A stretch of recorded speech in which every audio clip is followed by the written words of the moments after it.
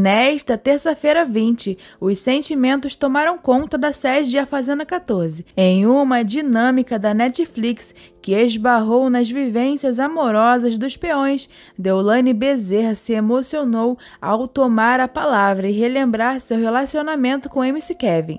Antes de começar seu relato, a advogada avisou que resumiria suas palavras por se tratar de uma história triste. Não estava pronta para amar, até que veio Kevin, um ano com o Kevin atrás de mim, e eu dava muita risada porque ficava muito sem graça. Quase 11 anos mais jovem que eu, e eu relutava contra esse amor, até que ele fez a primeira música, Doutora 1, descreveu ela, destacando trechos da canção. Deolane também revelou que nada tinha acontecido entre ela e o cantor até aquele momento. E na música ele fala que vai casar comigo, me levar para um motel, não sei o que. E nunca tinha feito nada disso. A gente nunca tinha ficado, completou a influenciadora. Em seguida, a DJ confessou que o rumo da situação só mudou quando foi à casa de Kevin e acabou conhecendo a história de vida do funkeiro. A mãe dele contou a história dela com o marido dela, que também era era bem mais jovem que ela, e depois desse dia eu nunca mais parei de dormir lá, pontuou ela. A PO afirmou que o relacionamento tinha muitas brigas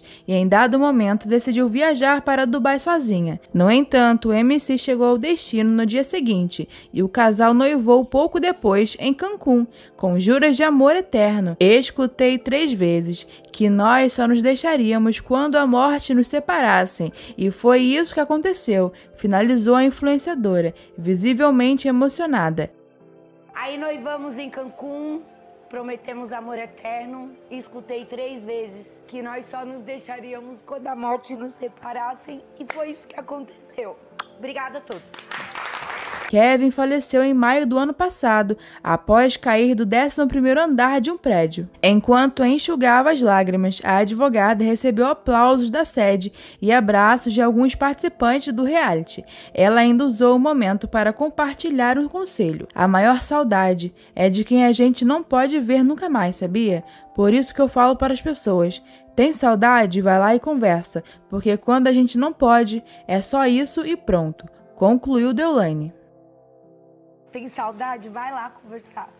Porque quando a gente não pode, não adianta. É só isso e pronto. American